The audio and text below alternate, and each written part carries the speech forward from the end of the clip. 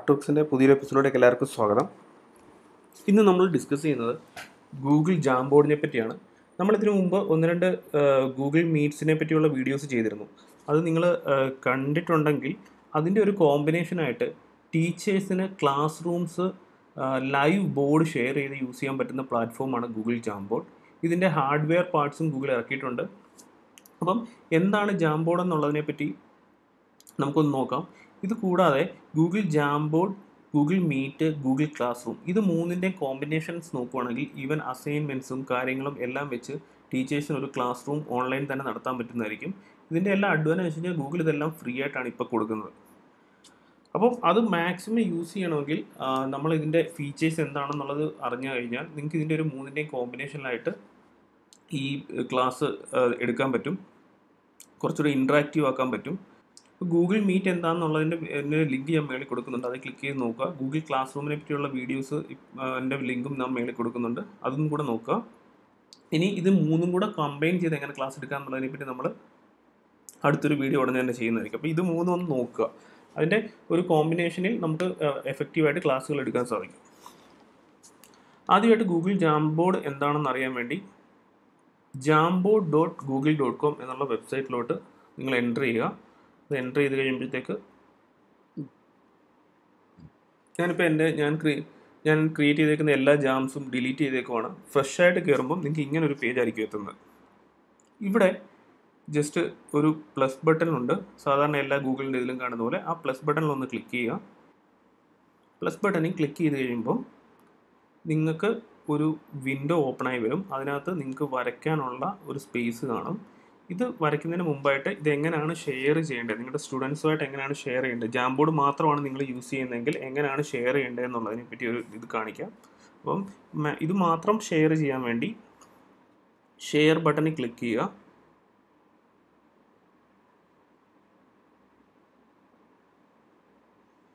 Restriction ഇവിടെ restriction അല്ലെങ്കിൽ ഒന്നില്ല നിങ്ങൾക്ക് ഇവിടെ ആൾക്കാരുടെ മെയിൽ ഐ ഡി കുറിച്ച് അവരെ ഇൻവൈറ്റ് ചെയ്യാം. ഇത് കൂടാതെ ഒരു ലിങ്ക് ഉണ്ടാക്കാം ഷെയറബിൾ ലിങ്ക് ഇതിനകത്ത് ഞാനിപ്പോൾ റെസ്ട്രിക്ഷൻസ് മാറ്റി ഇത് anyone with the link copy എന്നുള്ള ഇത് ഞാൻ ഷെയർ ചെയ്ത് എടുക്കുവാണ്. ഞാൻ ഈ ലിങ്ക് ജസ്റ്റ് കോപ്പി ചെയ്തു ഡൺ കൊടുത്തു. ഞാൻ പുതിയൊരു വിൻഡോ ഓപ്പൺ ചെയ്തു. അവിടെ ആ ലിങ്ക് പേസ്റ്റ് ചെയ്യുന്നു എന്റർ ചെയ്യുന്നു. ഇതായിരിക്കും നമ്മുടെ സ്റ്റുഡൻസിന്റെ വ്യൂ അപ്പോൾ നമ്മൾ ഇത് സ്റ്റുഡൻസിന് മാത്രമല്ല ഈവൻ ഓഫീസുകൾ പോലും ഇൻട്രാക്റ്റീവ് ആയിട്ട് എടുക്കണമെങ്കിൽ ഈ ടൂൾസ് യൂസ് ചെയ്യാവുന്നതാണ്. ഇപ്പോൾ സ്റ്റുഡൻസ് ഇവിടെ ഈ വ്യൂവിലായിരിക്കും കാണുന്നത്.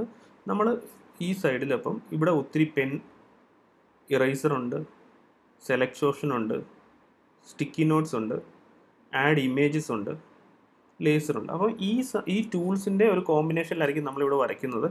ഞാനിപ്പം പെൻ എടുത്തു. പെന്നിൽ തന്നെ എനിക്ക് പല ടൈപ്പ് പെൻ സെലക്ട് ചെയ്യാം. അതിനകത്ത് ഞാനിപ്പം എന്റെ ഒരു ഹൈലൈറ്റർ സെലക്ട് ചെയ്തു. അതിനകത്ത് ഒരു കളർ ഞാൻ റെഡ് സെലക്ട് ചെയ്തു. ഇനി ചെയ്തിട്ട് എനിക്ക് two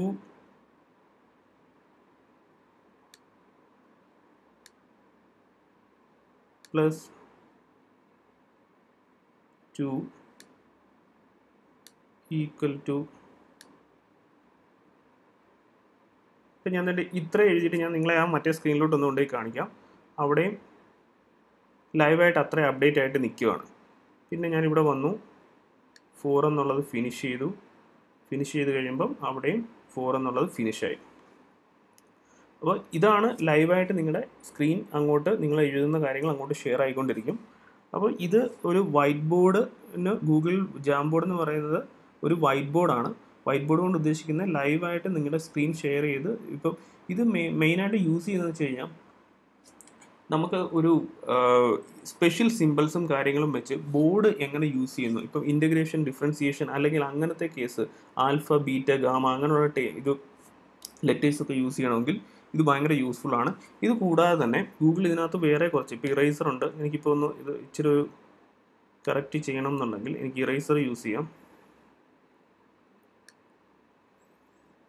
ഇറൈസർ യൂസ് ചെയ്ത് ഞാനിത് കറക്റ്റ് ചെയ്യുന്നു. ഇനി ഇതിനകത്ത് എനിക്ക് സ്റ്റിക്കി നോട്ട്സ് വെച്ച് കുറച്ച് നോട്ട്സ് ഉണ്ടാക്കിയിടണം ഇപ്പം ഞാൻ ഒരു നോട്ട് ഉണ്ടാക്കുവാണ്. ടു എന്ന് പറഞ്ഞൊരു നോട്ട് ഉണ്ടാക്കി ഇതിന്റെ കളർ ഞാൻ റെഡ് ഗ്രീൻ ആക്കി സേവ് ചെയ്തു. അപ്പം എനിക്കൊരു സ്റ്റിക്കി നോട്ട് കിട്ടി. അപ്പം ഇതുപോലെ അടുത്ത സ്റ്റിക്കി നോട്ട് ഞാൻ ഉണ്ടാക്കുവാണ്. ഫോർ സേവ് ഫോർ എടുത്തു. അപ്പോൾ അടുത്തതിന്റെ കളർ ഞാൻ മാറ്റി. ഫൈവ് നിട്ടു ഇപ്പോൾ കണ്ടില്ലേ സ്റ്റിക്കി നോട്ട്സ് ഇപ്പം നിങ്ങൾക്ക് ഈ പറഞ്ഞ പോലെ സിമ്പിൾസും കാര്യങ്ങളും അല്ലാതെ കൊടുക്കണമെന്നുണ്ടെങ്കിൽ ഇപ്പോൾ ടു ഫോർ ഫൈവ് എന്നുള്ളത്. ഇനി ഇതിൽ ഒന്ന് ക്ലിക്ക് ചെയ്ത് ഇവിടെ ഈ ബട്ടണിൽ ക്ലിക്ക് ചെയ്യുകയാണെങ്കിൽ ഇത് ഡ്യൂപ്ലിക്കേറ്റ് ചെയ്യണമെങ്കിൽ ഡ്യൂപ്ലിക്കേറ്റ് ചെയ്യാം. ഡിലീറ്റ് ചെയ്യണമെങ്കിൽ ഡിലീറ്റ് ചെയ്യാം. എഡിറ്റ് ചെയ്യണമെങ്കിൽ എഡിറ്റ് ചെയ്യാം.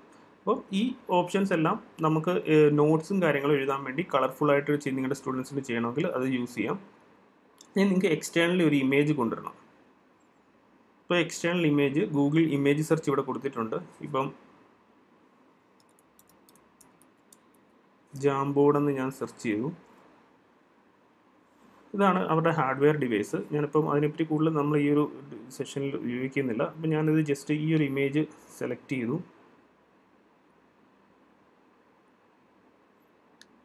ജാംബോർഡിന്റെ ഒരു ഇമേജ് ഞാനിവിടെ കണക്ട് ചെയ്യുന്നു.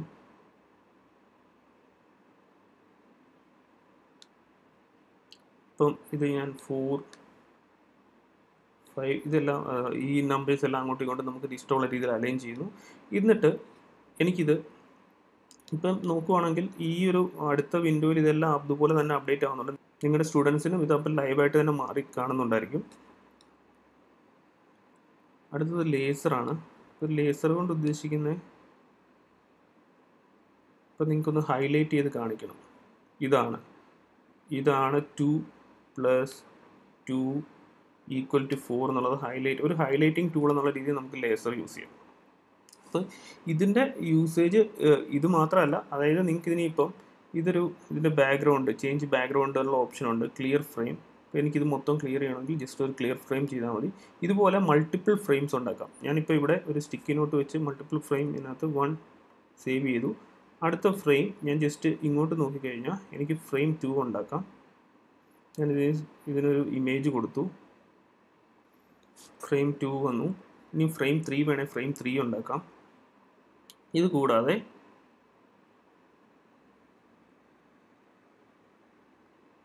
ഇത് നിങ്ങൾക്ക് download as a P D F rename ചെയ്യാം. ഈ ഒരു ജാമിന്. സാധാരണ ഞാൻ ആദ്യമേ പറയാൻ വിട്ടുപോയി. ജാമിന് നിങ്ങൾക്ക് ഒരു പേര് കൊടുക്കാം. മൈ ഫസ്റ്റ് ജാം എന്ന് ഞാൻ പേര് കൊടുത്തു. ഇത് കൂടാതെ എനിക്ക് ഇപ്പോൾ ഡൗൺലോഡ് ചെയ്തെടുക്കാം.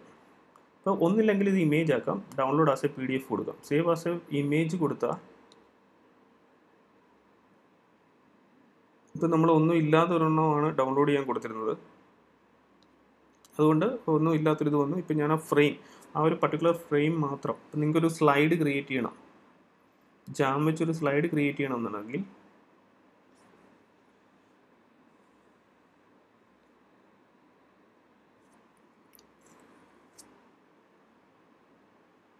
ഇപ്പം ഇതൊരു ഒരു സ്ലൈഡ് പോലായി. ഇനിയിപ്പോൾ ഞാനത് ഡൗൺലോഡ് ചെയ്യാൻ കൊടുക്കുവാണ്. Save frame as an image എന്ന് കൊടുത്തു കഴിഞ്ഞാൽ അതൊരു ഇമേജ് ആയിട്ട് ഡൗൺലോഡ് ആയി കിട്ടും. കണ്ടില്ലേ?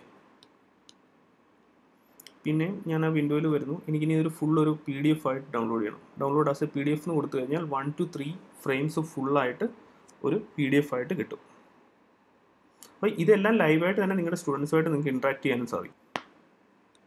ഇതായിരുന്നു ഫ്രെയിം വൺ ഫ്രെയിം ടു ഇതായിരുന്നു. ഫ്രെയിം ത്രീ നമ്മളൊന്നും ചെയ്തിട്ടില്ലായിരുന്നു. അപ്പം വിൻഡോ ഓപ്പൺ ആയി വന്നു.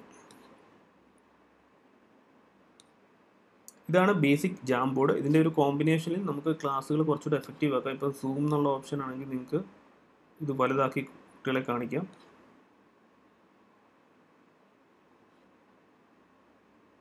ഇപ്പം നോർമൽ ഹൺഡ്രഡ് പെർസെന്റിലോട്ട് ഞാൻ മാറ്റി.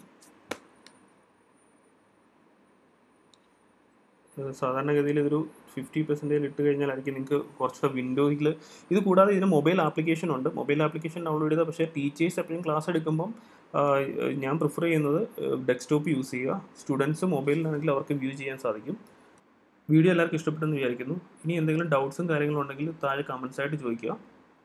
നമ്മളിപ്പം ടെക്നോളജി വീഡിയോസ് ആണ് ബിസിനസ്സുമായിട്ട് ബന്ധപ്പെട്ട വീഡിയോസ് ആണ് നമ്മൾ മെയിനായിട്ടും ചെയ്യുന്നത്. പക്ഷേ ഇനിയിപ്പം കുറച്ച് ക്ലാസ് റൂമുമായിട്ട് ബന്ധപ്പെട്ട കുറേ ക്വസ്റ്റ്യൻസ് വരുന്നതുകൊണ്ട് തന്നെ അതുമായിട്ട് ബന്ധപ്പെട്ട കുറച്ച് വീഡിയോസ് കൂടെ ചെയ്യാൻ ഉദ്ദേശിക്കുന്നുണ്ട്.